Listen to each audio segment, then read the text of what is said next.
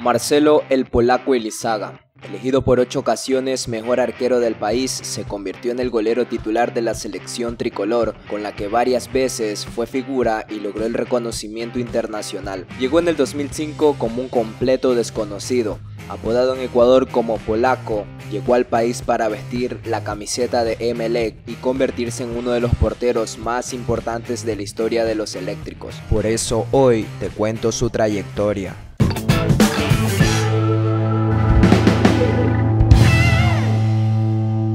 Marcelo Ilizaga inició su carrera desde muy joven en las categorías juveniles de Nueva Chicago, hasta que en 1996 el entrenador interino lo hizo debutar por un partido del torneo clausura del Nacional B en Argentina. En esa temporada, el cuadro del polaco terminó en puesto 15 de la tabla, a 20 puntos de los puestos de ascenso. En la siguiente temporada, Elizaga se afianzó como titular en un equipo al que se sumaron jugadores que pasaron por el Ecuador, como Juan Amador, Martín Mandra y Gerardo Meijide. En ese campeonato estuvieron cerca de clasificar a la zona, pero perdieron en el desempate contra Central Córdoba. En el Nacional B, 97-98, Chicago deambuló por la mitad de la tabla con Elizaga también de titular. Esa sería la última temporada del polaco en Nueva Chicago, ya que Lanús compró su pase al cuadro de Mataderos. En ese entonces, el cuadro Granate ya estaba en la serie de privilegio del fútbol argentino. Elizaga llegó al cuadro argentino como un arquero suplente, ya que en ese entonces atajaba a Rodrigo Burela, quien había sido su compañero en Nueva Chicago. Gozó de pocas chances en el arco granate, por eso apenas duró dos temporadas ya que fue cedido a Quilmes, que en ese momento disputaba el torneo nacional B de ese país. El cervecero no terminaba de cerrar su paso a la primera de ese país. En la 2001-2002 también cayó en fase de clasificación ante Atlético Rafaela, luego de terminar cuarto en los promedios del año. Pero un año después, en la promoción frente a Argentinos Juniors, Quilmes regresó a la primera división. En ese ascenso, Elizaga no tuvo oportunidad de actuar por una lesión en sus meniscos. Cuando volvió ya para disputar el Apertura 2003, Elizaga había perdido su puesto. En ese torneo, Quilmes finalizó en cuarta posición a 7 puntos del campeón, Boca Juniors. En el Clausura 2004, Quilmes se ubicó en sexta posición, pero Elizaga volvió a ser suplente en 19 encuentros. Ya con 32 años, su carrera no levantaba hasta que apareció la oferta del club Sport Emelec.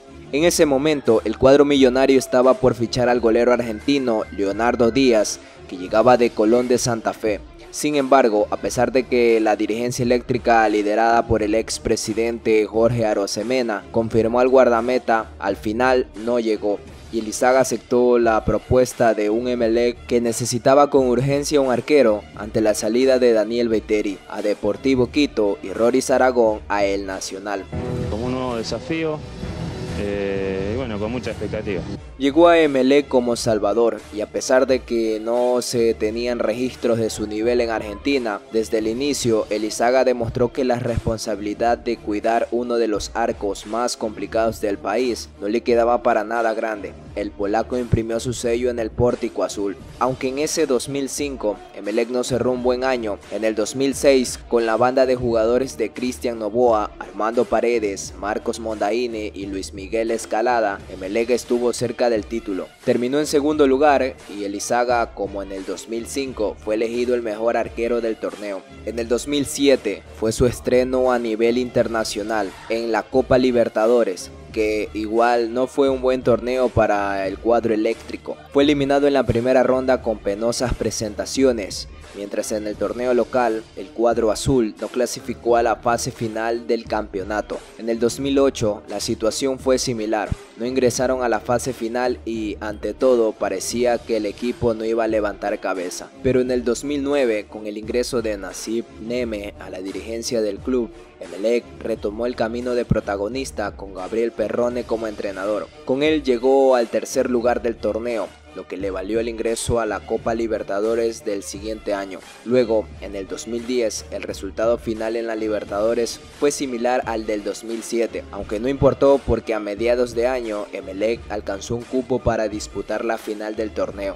Pero en diciembre, frente a Liga de Quito, el bombillo cayó en la final y dejó escapar la posibilidad de sumar un nuevo título. Justo para esos partidos, Elizaga no pudo jugar. Luego de volver de una lesión, el DT Jorge Sampaoli no lo alineó y le brindó esa opción a Javier Klimowicz, aunque se especuló sobre una mala relación entre el golero y el entrenador. Ese capítulo resultó en la salida de Elizaga de Melec, sin ganar un título nacional con su club solo dos vicecampeonatos y varias participaciones en torneos internacionales. Para ese entonces, Elizaga ya se había nacionalizado y había atajado con la selección nacional en Copa América y eliminatorias al Mundial de Sudáfrica. En ese último torneo, el penal atajado a Carlos Tevez en Quito con el partido 0-0 sirvió para que Ecuador no recibiera goles y al final ganara 2-0 ante el combinado dirigido por Diego Armando Maradona. ¡Vamos Elizaga!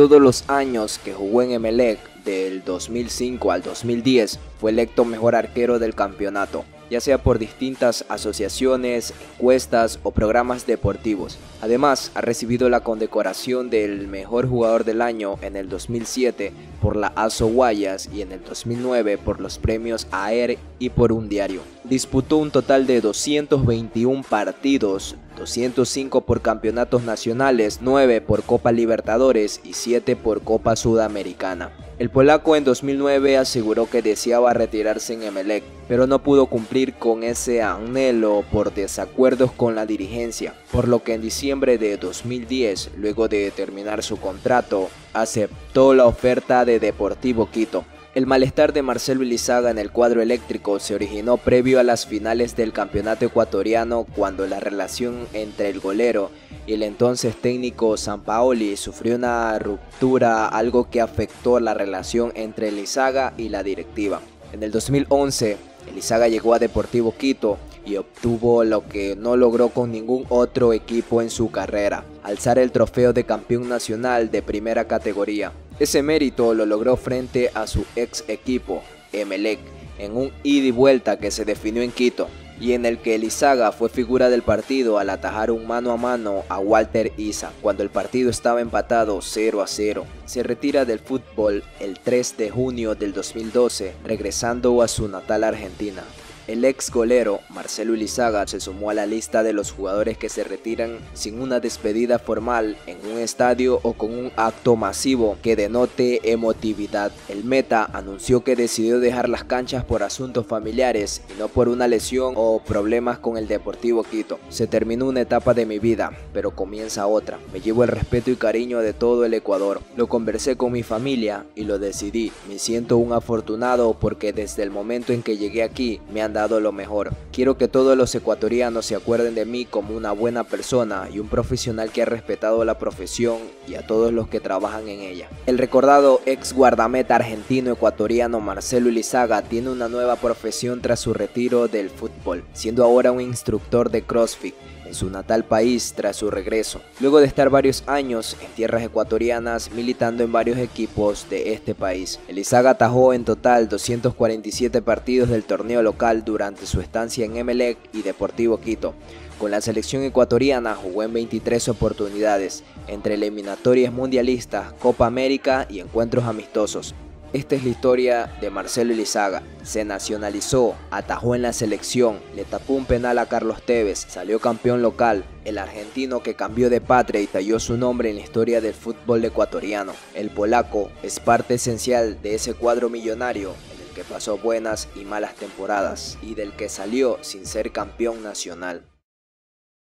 Bueno, el recuerdo que tengo hoy de, mi paso por Emelec, eh, creo que es eh, muy lindo.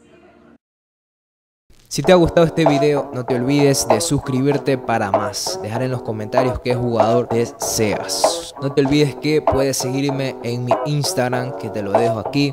Yo me despido, nos vemos. Hasta una próxima.